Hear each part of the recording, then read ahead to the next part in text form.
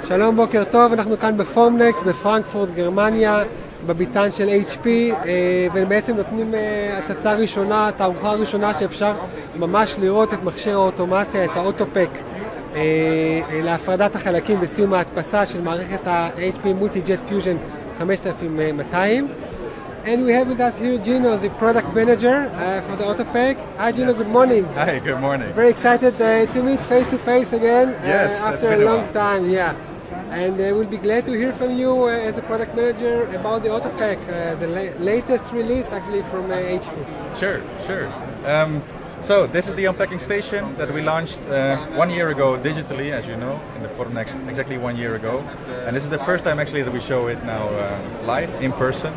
Um, basically, what it does, it uh, automates the process of taking the parts out of a printed build and then reclaim the powder. So the powder um, goes to the tank that you see on the left side, whereas the parts are coming out on the side of the of the machine.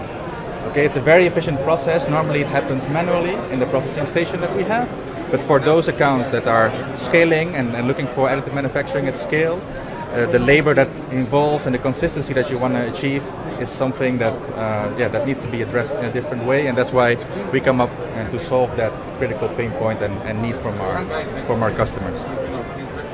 Actually, we have already several customers in the in the field in North America and in the EMEA region, uh, being very happy with the uh, with the machine already running uh, lots of uh, lots of jobs. So um, yeah, happy to be happy to be here. Great, thank you very much. Very impressive. Thanks a lot and good luck. Sure, thank you very much.